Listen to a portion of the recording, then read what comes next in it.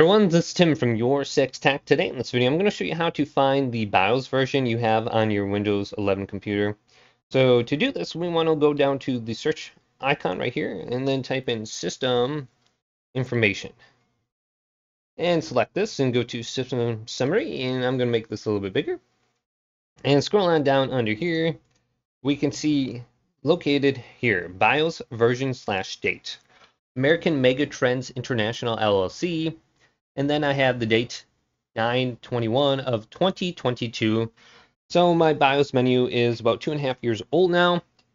So if I was going to upgrade my PC, I might need to update my BIOS before my processor can actually be read and found uh, if I upgrade that. So go ahead and look for the way to update your BIOS with your manufacturer on your computer.